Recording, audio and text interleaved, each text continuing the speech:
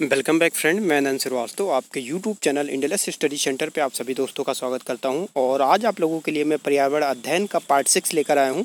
इसके पहले मैंने आप लोगों को पाँच पार्ट दिए हुए तो यदि आप उन पार्ट को नहीं देखे हैं तो मैं डिस्क्रिप्शन बॉक्स में उसका लिंक दे दूँगा, आप वहाँ से देख सकते हैं।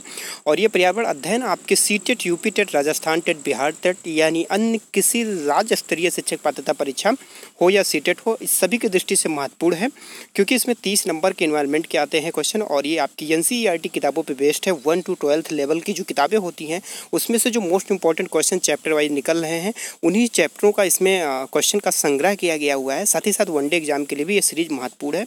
आपका चाहे पीसीएस हो गया आर ओ हो गया, या किसी भी एक दिवसीय परीक्षा हो गई, क्योंकि जीएस वाले सेक्शन में पर्यावरण से भी क्वेश्चन संबंधित आते हैं, ठीक है? तो आज की सीरीज़ स्टार्ट करते हैं, और आज की सीरीज़ का जो सब्जेक्ट है वन योम वन जीव है। यानी वन में जो वनजीव रहते हैं, उनसे संबंधित जो मोस्ट इंपॉर्टेंट क्वेश्चन निकले हैं, उनका संग्रह किया गया है। तो इसमें से पहला क्वेश्चन है, सदाबहार वन पाए जाते हैं। तो सदाबहार वन कहाँ पाए जाते हैं? किस क्षेत्र में पाए जाते हैं?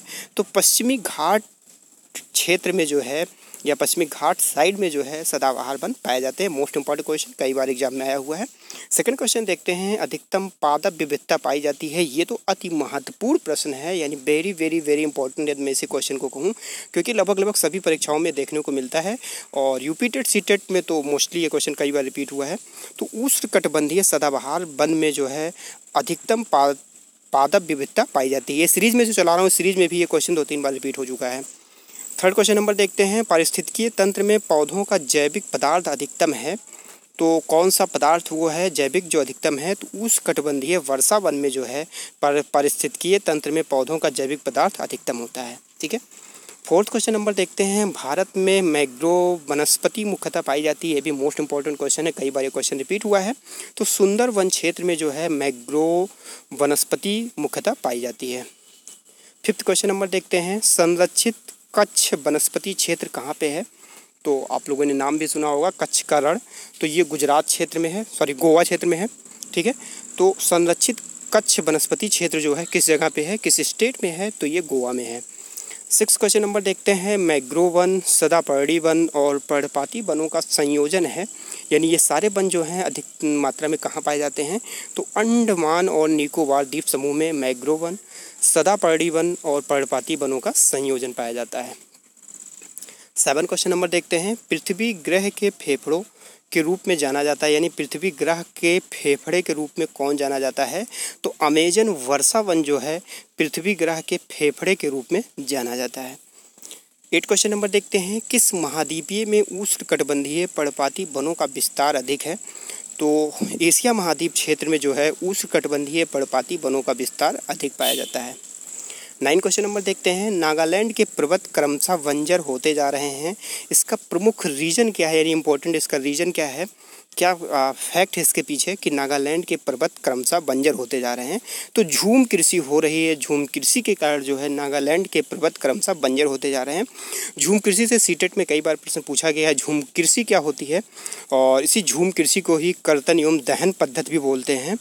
तो देखिए, ये जनजातियों द्वारा ये कृषि अपनाई जाती है और जनजाति जो है, एक जगह निश्चित स्थान पर रहते नहीं हैं। वो अपने कुछ समय के बाद स्थान बदलते रहते हैं। तो ये जनजाति जहाँ जाके रहने लगती है, वहाँ की झाड़ियों, काटियों को जो झाड़ियाँ होती हैं पेड़ पौधे होते हैं, उनको काट कर जला कर वहाँ खेती करती है और कुछ दिन बाद जब वहाँ की खेत बंजर हो जाती है तो उस स्थान को छोड़ देती है और दूसरी जगह चली जाती है।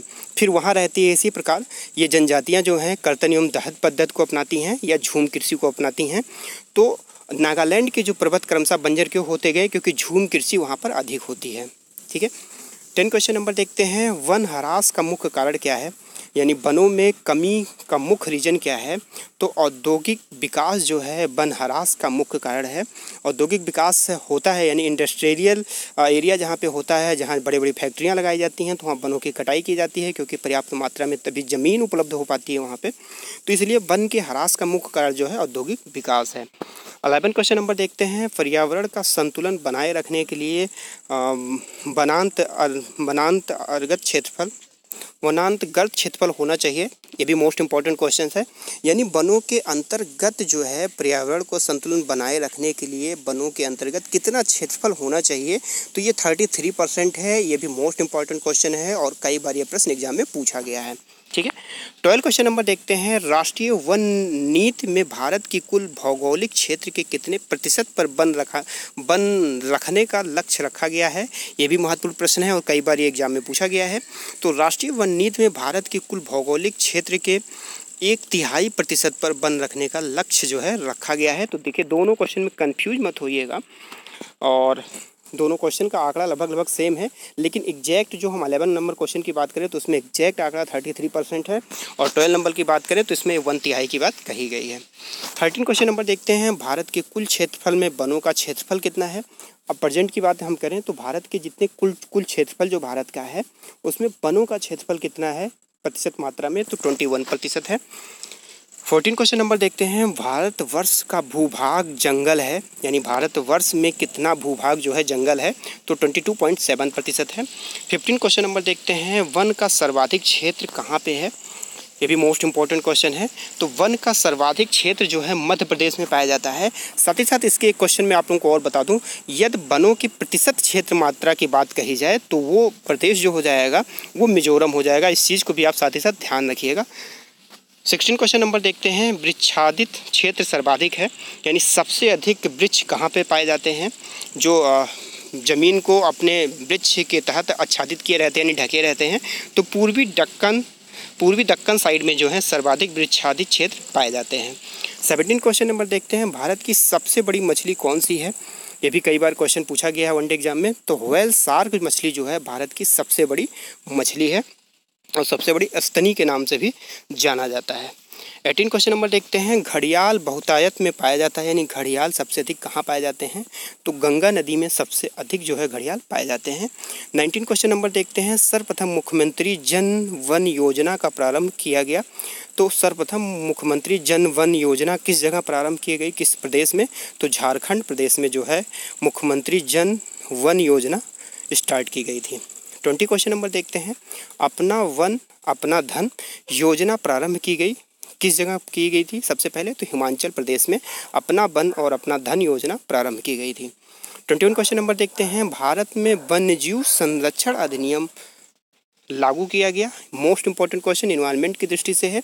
किसी भी अगर सेक्शन में इन्वायरमेंट से क्वेश्चन पूछता है तो ये क्वेश्चन पेट क्वेश्चन है और क्वेश्चन ज़रूर रिपीट होता है। तो भारत में वन जीव संरक्षण अधिनियम जो है 1972 में, यानी उन्नीस सौ बहत्तर में जो है, प्रारंभ किया गया था। इसके साथ ही साथ अगर मैं आप लोगों से एक क्वेश्चन और शेयर करना चाह रहा हूँ कि प्रदूषण अधिनियम जो आया हुआ था 1986 में आया हुआ था, यानी उन्नीस सौ छियासी ईस्वी में आपका पर्यावरण अधिनियम आया हुआ था। प्रदूषण से संबंधित जो अधिनियम है, वो आया हुआ था। और भारतीय वन्यजीव संस्थान ट्वेंटी वन क्वेश्चन नंबर की अगर बात करें तो भारत में वन्यजीव संरक्षण अधिनियम उन्नीस सौ बहत्तर में और प्रदूषण पॉल्यूशन से संबंधित जो एक्ट आया हुआ था, वो 1986 में आया हुआ था। और 22 क्वेश्चन नंबर देखते हैं, भारतीय वन्यजीव संस्थान स्थित है, ये भी मोस्ट इंपॉर्टेंट क्वेश्चन है। तो भारतीय वन्यजीव संस्थान जो है, वो देहरादून में स्थित है। तो ये 22 क्वेश्चन कंप्लीट हुए और इसमें से मोस्ट इंपॉर्टेंट अगर क्वेश्चन की मैं बात करूँ तो एक पहला क्वेश्चन हो जाता है, सदाबहार वन कहाँ कहाँ पाए जाते हैं। सबसे महत्वपूर्ण सीरीज़ की मैं बात करूँ तो सेकंड नंबर क्वेश्चन है, ठीक है? अधिकतम पादप विविधता कहाँ पाई जाती है? तो कड़बंदी सदाबहार वन में पाई जाती है। और फिर अगर मैं बात करूँ फोर्थ नंबर क्वेश्चन ये भी मोस्ट इंपॉर्टेंट क्वेश्चन है। और फिफ्थ नंबर भी है और उसके बाद फिर आपका सेवन नंबर भी क्वेश्चन इंपॉर्टेंट है। यानी ये जो मैं रिपीट करके बता रहा हूँ, इन क्वेश्चनों को ज़रूर आप लोग याद कर लीजिएगा। और उसके बाद नाइन नंबर क्वेश्चन नंबर है, झूम कृषि से संबंधित क्वेश्चन आया करते हैं। तो ये भी ध्यान रखिएगा झूम कृषि होती क्या है, मैंने आप लोगों को बताई दिया है। और उसके बाद फिर eleven question number most important question है, ये भी कई बार एग्ज़ाम में पूछा गया है। और उसके बाद फिर मैं बात करूँ थर्टीन क्वेश्चन नंबर करेंट का क्वेश्चन बन सकता है। और आपका फिर आ जाएगा fifteen question number most important question है। इस चीज़ को भी आप लोग ज़रूर याद कर लीजिए। और फिर आपका सिक्सटीन क्वेश्चन नंबर भी इंपॉर्टेंट है। भारत की सबसे बड़ी मछली, ये तो नॉर्मल क्वेश्चन है। घड़ियाल भी मोस्ट इंपॉर्टेंट क्वेश्चन है और उसके बाद फिर आपका आ जाएगा ट्वेंटी वन और twenty two most important question है। वैसे सारे क्वेश्चन महत्वपूर्ण हैं और ये सारे ही क्वेश्चन मतलब एन e किताबों से हैं, लेकिन चैप्टर वाइज क्वेश्चन है और कुछ इसमें कंपटीशन बुक का भी संग्रह किया गया है, यानी उन क्वेश्चनों को ही सम्मिलित किया गया है जो आपके एग्ज़ाम में आते हैं, ठीक है? तो आई होप आपको ये भी सीरीज़ यानी ये पार्ट जो है काफ़ी अच्छा लगा होगा। तो आप अपने कमेंट और लाइक के माध्यम से ज़रूर अपना फीडबैक दीजिएगा, जिससे आप लोगों को नेक्स्ट पॉइंट बहुत जल्दी मिल सके। क्योंकि आप लोगों के कमेंट और लाइक हमारे लिए बहुत ही मायने रखती है एक एक कमेंट और एक एक लाइक और मैं सभी के कमेंट पढ़ता हूँ, ऐसी बात नहीं है, ठीक है? तो आई होप आप लोगों को सीरीज़ अच्छी लगी होगी, और वीडियो देखने के लिए आप लोगों का बहुत बहुत धन्यवाद। थैंक्स फॉर वॉचिंग दोस्तों। Thank you